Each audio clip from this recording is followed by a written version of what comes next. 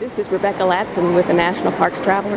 I'm here at Padre Island National Seashore getting ready for the release of the Kemp's Ridley Turtle hatchlings. This is the first release of the year and everybody is really excited.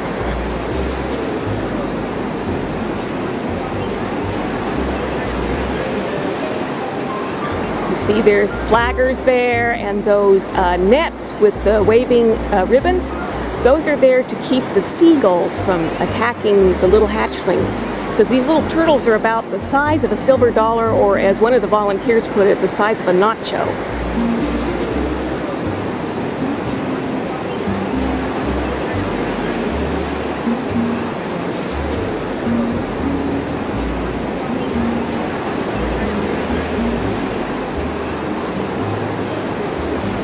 Rebecca Latson with the National Parks Traveler. うん。